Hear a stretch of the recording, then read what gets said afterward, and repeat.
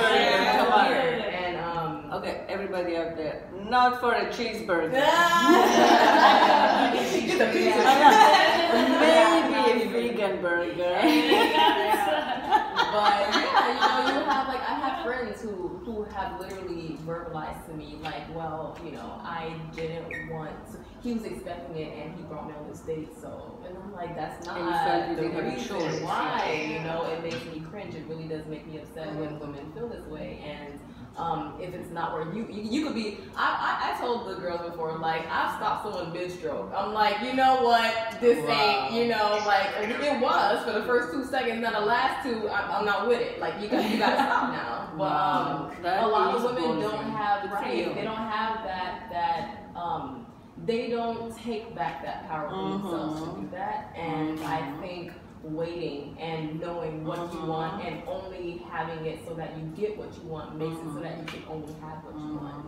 And Well, I think part of that is that we, we live in a phallus-centric society, right? So the phallus always takes precedence. So, you know, we've been convinced, I don't know, from like day one, as far as I know, I don't know when this convincing happened, but we have been convinced that like if the guy is in the middle of, you know, uh, coming, that is sacred. That's his sacred, not ours. We're just being used, you know. But we are all like taught that you do not stop that. You know, if anything, like you assist him. You know, he gets his semen out, and then you know you're done, and you're off the hook. Oh my Isn't God. that the Yes. shit? Yeah, that's so crazy to me because, like, you know, I've been doing a lot of research, and men are most powerful when they ejaculate as opposed to Exactly, ejaculate. exactly. You But know, they don't know they- it. Oh my god, I don't just it. sent this text like, eh, Like, go ahead, you and now know, I have to so- read to you. Go ahead, yeah. I'm gonna read it But for yeah, everybody. it's, it's crazy. I think if anything, like following up to that, we don't see enough examples of that. I Right. feel like we grow up already seeing our mothers, grandmothers, etc., whoever you know, family ancestors, like kind of you know submissive to the men in, in all aspects. All aspects, And yeah. you know, there needs to be a healthy balance. And I, I totally agree. I love you know Mhm. hearing you getting those reminders from your sisters that hey, discernment, apply it. You know what I mean? Yeah, Because yeah. And if we- you we- don't feel it's good, just tell him sorry. I wanna do that. It's not my thing. Oh my God, that's so. It sounds so simple and easy, and we all know it's so hard And in it's practice easy- in the middle of the thing. Definitely. It's so much easier to like, kind of like you know, discard your own body temporarily, or like go out of body, which is so how most of our mothers like went through sex. It's just kind of like leave your body. disassociate from Yeah, the, disassociate. like, Yeah, yeah, and you know, which like reinforces the dichotomy between body and self, between body and mind. You know, of like the church and all that, all that stuff. I think societally as well, though, sex isn't everything. Sex sells, sex is here, sex Mhm. is there, sex Mhm. is everywhere. Sex could be a Dr. Seuss's Mhm. storybook, you know, a book about sex because it's it's literally what's just thrown at us. So and and the the images of sex, like the girls, like the women were saying, the goddesses were saying, it's it's not that they're healthy images. It's not images that teach us, okay, sex is it means sacred energy exchange. It's Mhm. not images that teach us there's power in sex, there's power in a union. You know, it's things that tell us do this because it feels good or it looks good or this and that and the 3rd Mhm. Um, so I think if when there is when there are more powerful images of that, then you feel empowered. Um, then you feel more empowered from that. Mhm. Yeah, yeah. I think a lot of that, yeah, I mean, that, yes, there is a lot of sex out there, and it's all being used to sell shit to people. Yeah. And I think that it's it has two aims. One is, you know, tell the guy you're gonna get the girl. Uh, the, what happens to the girl is an afterthought. Like no one's talking about that. And tell the girl the guy's gonna want you. So you know that's how they sell shit. You know the girl wants the guy to pick her, and you know the guy is gonna be like accepted by all the girls.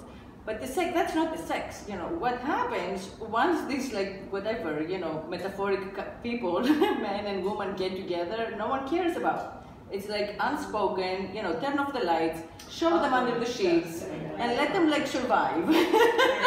right? It's all like the pre-sex that they're selling. It's like, you know, instead of like the actual sexual experience, you know, which we don't get to discuss or, or understand. And like, you know, what you were saying, what I said, I sent this text earlier, this is what I said. I said it's my observation that multiple orgasming is totally absent among American males. Right? So like very few men use the extended orgasmic breath or what you know in America is known as tantra, but that's like an oversimplification of tantra. Um, but basically like consciously control their soma, control their you know their their rhythm in order to have a better orgasm for themselves as well as to like be more in touch with the woman time wise, you know, with her stretch, you know, longer time.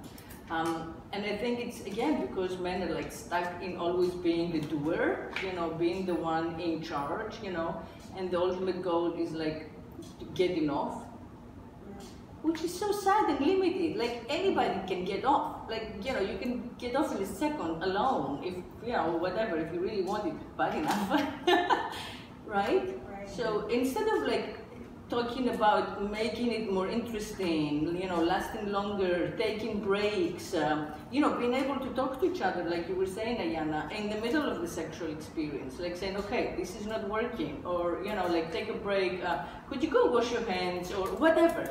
And that doesn't. And that like doesn't You'd be surprised. You'd be surprised, like we don't dare say shit because we have to like You'd be surprised how Everybody's- nasty guys' hands are before Right, they they- start fingering you. Yes, yes, especially And a if lot of they're girls get bac- no, a lot of girls get bacterial infections Oh, yeah. because of that and don't even realize where it's coming from. Oh no, they, they, they realize it's just like they don't even use the bathroom after, like, on. right, right. And Oh my God, yes. And it's all because we think that we're supposed to be like so transported by you know passion, right? But we're not. We're just pretending it because that's what we've been taught. Like you know that if he's put his, your his hands up your asshole, he should not be going back, you know, in your vagina. You just know it. It's very right. So if he forgets to like take a break again, because we're all supposed to be like so much entranced that we're no longer ourselves, we're like possessed by whatever, you know, the erotic uh, instinct. That's all bullshit. It's just that we we don't have the comfort to be ourselves and be sexual together, right? And how how much better would that be? So you can say, uh, you know, I don't want you like you know move to the left a little bit, go up, like stop, you know. I don't like this position, but that, that's not a rejection. You know, it's not personal. It's like we're all together, we're both together doing People really this. So Right? We get so self-conscious because we're told that like getting off and especially way. getting the guy off is the ultimate. I feel like people think that they're mature enough because they're having the sex, but you know they're they're not mature enough to handle the vulnerability that comes with it. You Mm-hmm. know, um, being able to speak up, being able to say this is what I like, this is what I don't like. Like they feel just because they're having sex that they know what they're doing. And, you know, I got this. I've been doing this for X amount of years. Doing it for a long time doesn't mean you've been doing it right. Doesn't mean you know what you're doing in the first place. You know, if you Mhm. if you only have one mission or your intention is one thing, you really don't know what you're doing because you're not even trying to have a an open mind to learn and to experience anything other than outside of yourself.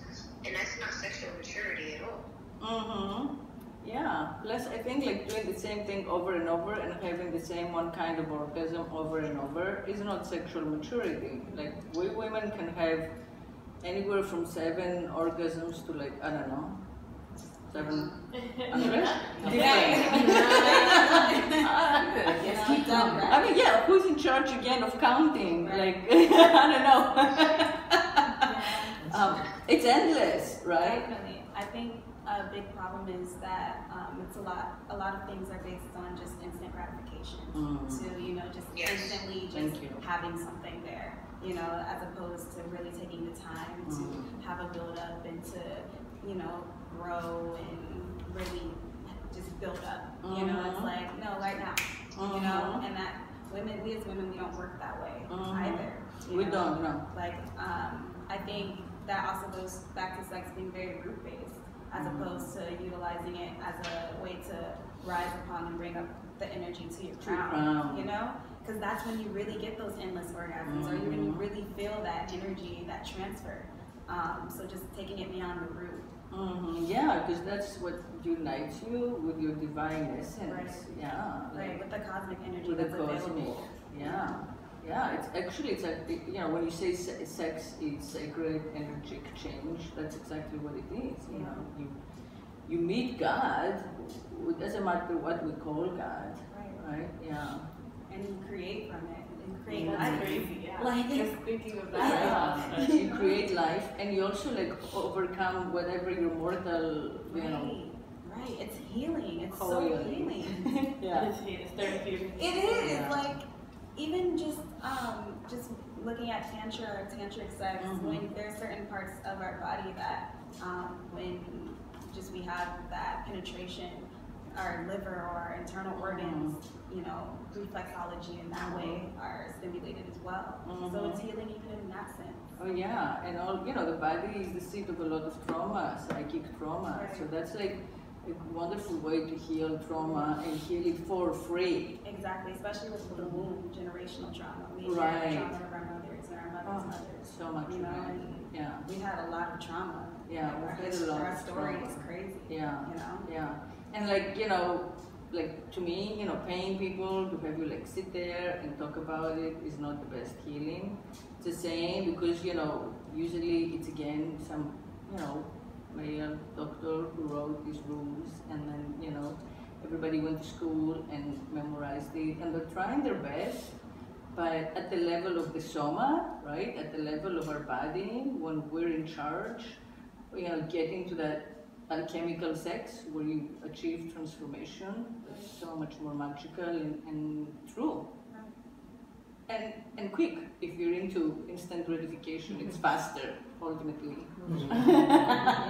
right? But then, yeah, actually. Yeah, I mean, I think this goes back to the idea that we have about what sex is, you know, like Mhm. everywhere we look, like you said, we don't even talk about sex, you know, we talk about the the initiation of maybe, you know, it's the idea of, and then the actual practice is just like, we don't know what the fuck we're doing. We only, we only saw up to getting inside the bedroom. We don't know, we don't know what happens inside this shit. Like, Yeah. you know, like no one, no one knows. And, um, and then you're looking at mainstream media of pornography and it's Oh. only a male-centric lens. And then you're Mhm. wondering why Right. guys are beating vaginas to a pulp and not Right, knowing not what the fuck is up, you know? Like don't know what a stroke look like. It's like they just all they're doing is paying attention to Mhm. What it looks like sex should Right. be instead of Mhm. actually finding out what What sex is. actually is. Mhm. Yeah. Yeah. And all of that, you know, Man, if somebody was open to shoot that, I would so shoot it just to express it to the I was just gonna say, I was just gonna say, Jade, you should do porn next. Oh, let me tell you. I'm gonna say that. Funny.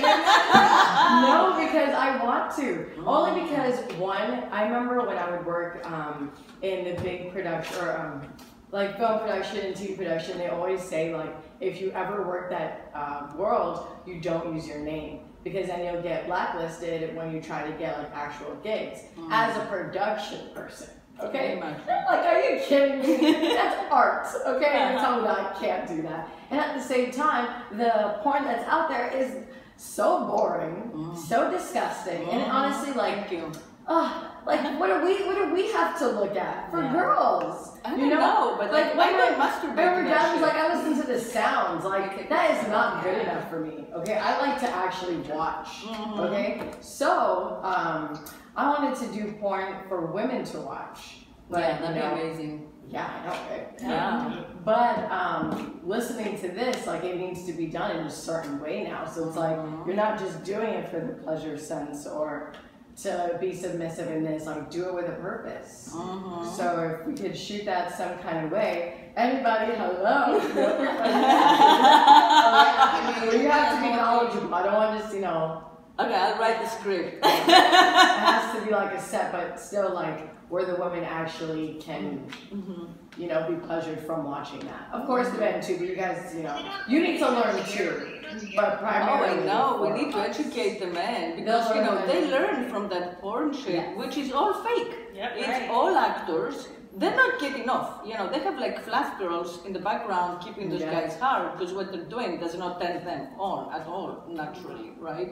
And you know, Yeah. whatever it is, you know, the money shot or uh, you know how fast they have to go, none of it is realistic. Nope. But people watch it thinking that's how it's supposed to do, and then, like you say, when finally they've got the, you know, the, the chick or whatever, the guy, and they go to the bedroom, that's what they try to emulate. Which honestly And girls doesn't are work. basically like blow up dolls in bed, like Yeah. Yeah, Yeah. just a tool. Yeah. yeah, like no. I know, and most women, because we want to be wanted, I mean, that's human, who doesn't want to be that's how wanted? taught that we're supposed to Right. Yeah, No. yeah. We allow We- ourselves to be. Right, we allow ourselves because we're like, you know what, he doesn't know better. Like, I know he loves me deep down. Mhm. Oh, But then we don't even know. Because then also Mhm. as women, we're thinking that that's what it is. Or like, we're just here like, well, okay, I guess that's what I it is. guess I'm not that sexual. Yeah, and then you Because find she doesn't out know all anything this about whole you. world. Yeah. Yeah. It's That's like, like, oh, mind blowing. Let me go try all that new stuff. And even going back to you saying that, like, um, oh, this our partner loves us, so we should be doing this. Like, many times you don't even realize that we're not loving ourselves when we do this. You know, like we're not, we can't. It's it's mutually exclusive. We can't possibly accept any type of of penetration when it comes to us and have that be detrimental and us being like, well, this was totally euphoric and I love myself. Like you don't even feel good after it. You know what. I'm saying? It's like everything Mhm. about it is negative for you and and in any way that you could possibly progress. And it's knowing which is why I which is why I know that it's it's complete self love and um, self acceptance and just like honoring oneself when you do wait like offset did, you know, and you do Yeah. like take breaks like like I did for like Mhm. 14 months of like not non-penetrative sex because it's not it's not about sex. It's about having the best exchange you can with the person that's going to bring you the most flourishment in your life and out of it. Like, yeah. you know. Yeah, no, that is definitely recommended. I mean, I personally highly recommend it, especially if you're a highly sexual person like I am. It's so good when you take a, a break, a conscious break that you will, you know, on yourself, so that you can revisit what you've done, where you've been, what you know, what you like. And that doesn't mean, you know, having eh, not being sexual with penetrative sex does not mean that you're not masturbating, that you're not playing with yourself, that you don't have other, you know, scenes, or you don't go out, you know, uh, to sex party or whatever, or um, you, you can, you know, definitely like talk about it. You can sext. you can do all kinds of other stuff. So you don't like have to become, uh, you know, completely asexual and shut down. Actually, shutting down is not at all what is recommended. It's just kind of like open up to understanding where you come from, how you did things. Is this what you meant to be doing, right? And when you what you were saying about ages, you know, our prefrontal lobe doesn't even finish growing until we're about 26. So starting at 25, 26, you know, I know it's not like ma- mod and like cool, but actually it's wise. You know, it's a it's a wise act because you're fully grown, so you have better understanding of where you're at and what you're doing. And you know, again, as we evolve as, as, as women, we want more things and different things than what we did when we were like 19. Um, so taking a moment to figure all that out and then make a conscious choice to say, okay, you know, from now on, like I will fall in love, but I'm not going to lose myself in the love. You know, from now on, when I'm in love, but I'm in the middle of like not feeling it in bed, I'll speak up without being completely terrified that like you will leave me and never come back. You know, like all these fears that we have that like we will be alone, we will die alone, no one's gonna love us because we're gonna say like, you know, I don't want to have sex first thing in the morning like you do because I'm like my body's not awake. You know, like simple things that if you do it and you speak up for yourself, you find out that actually, you know, nothing major has changed. You know, everybody wants communication, everybody wants to learn, and everybody appreciates this extra effort. So yeah, taking a break and then starting over. And also another thing, like if you've been involved with like an it helps you NPD. focus more if you do it that way. Mhm. Like, I, I was so mad one day when it was like that. You know, like started whatever, I got it to then stop, and then go about your day, and I'm like, the fuck? Are you serious? But then I realized, I'm sorry. But um, then I went about my day. I was like, wow, I'm actually more in tune to everything than if we were at finished. And then I would have just been in La La Land or tired or Mhm, whatever. mhm. And then at the end of the night, it was like, oh, finally. Mm-hmm. Yeah, yeah, delaying it is, is Yeah. good and channeling that energy is good. Yeah, yeah. But also another thing I was I was about to say, I don't know if any of you, I mean, you're all goddesses, so you probably haven't really experienced it, but a lot of women, you know, fall for the narcissist, and whether it's the narcissistic traits or the full-blown NPD, it doesn't matter, you know, narcissist personality disorder, doesn't matter, right? So if you go through that experience and then you break up and you manage to find the freedom, like do not just jump into another relationship because it's just so likely that you'll repeat the behavior because it takes us time to shift, you know, even tiny shifts, it takes time to understand it, right? So in between relationships, especially long-term relationships, it's good to like take time and play with yourself, right? Buy a couple of toys, buy the dildos, you know, like try new things that you haven't tried before, right? You agree with me? Yeah. Yes. Or yes, no, seriously. I think that's one of the best parts is to explore, you know, what your body can do. and I think that's another form of self-love, like not Mm. necessarily relying on any other party to execute certain feelings Mhm. or, you know, uh, climaxes or frequencies that you want to reach. Mhm. I think that is a very powerful thing. I, I yes, I prefer that. Masturbation nation.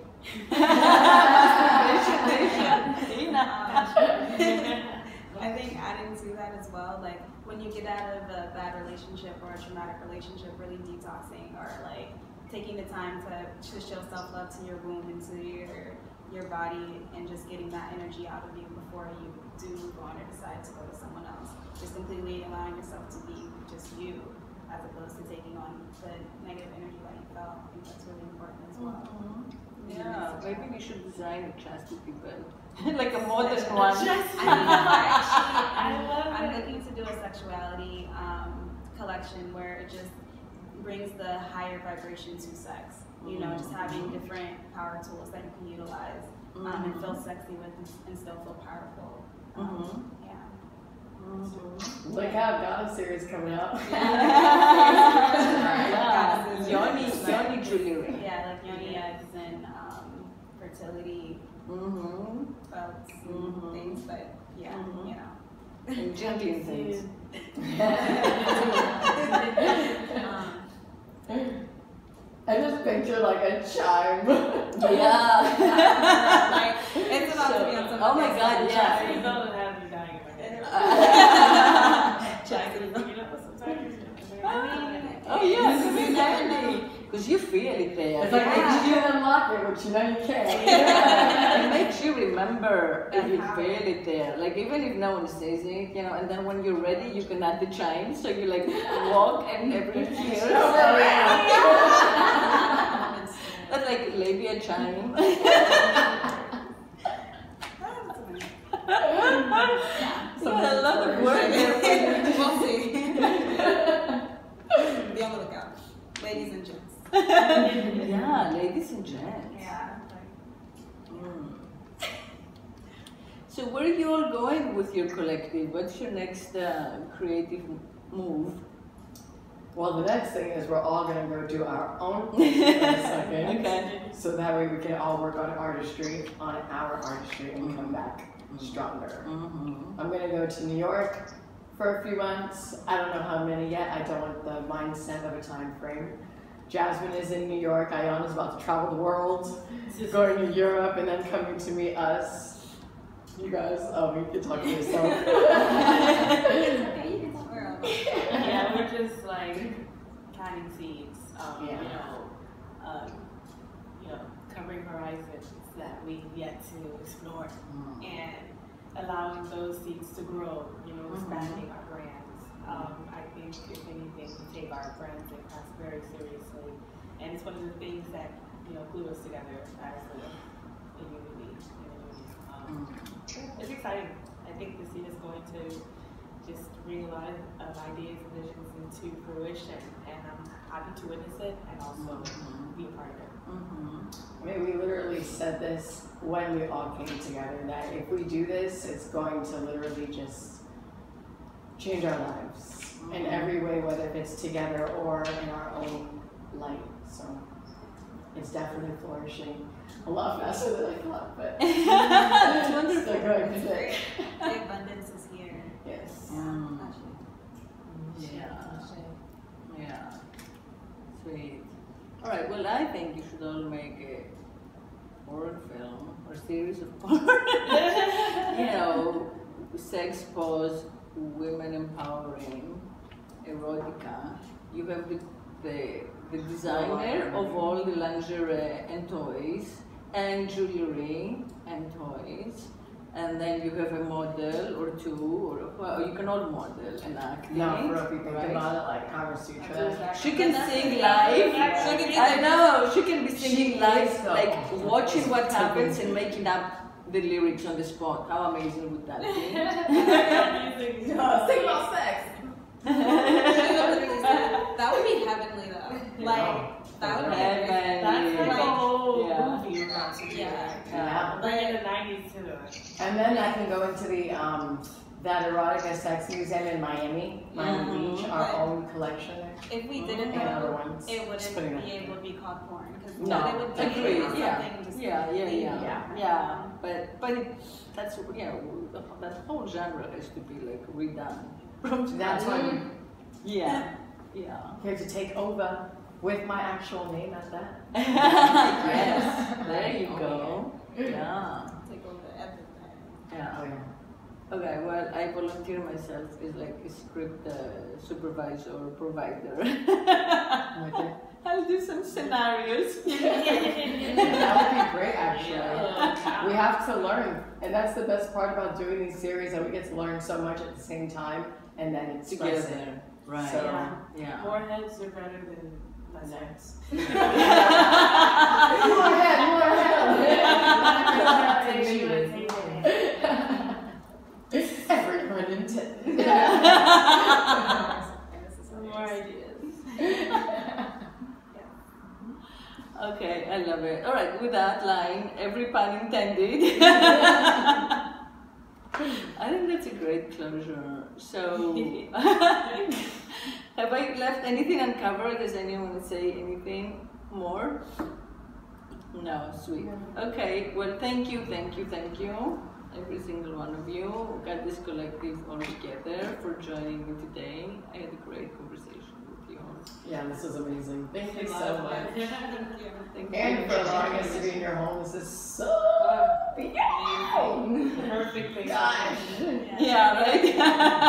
Yes, for sure. yeah, thanks. This is so inspiring. I wish I got the chance to meet you. Yeah, same here. Next, we'll do it again when we're all together. And we all come back. Yeah. Thank you for listening, everyone. Thank you for trusting me as your sex whisperer. Um, and uh, until I talk to you again next week, speak sex. Woo. Woohoo! So, That was um, awesome. that was so good. So much to learn. I know, right? Yeah. I meant it though. You are ready. I'll give you the script. No, I believe it. I feel like there's so much. I'm looking at all your books. I'm like, oh my god. I just like want to leave with a book.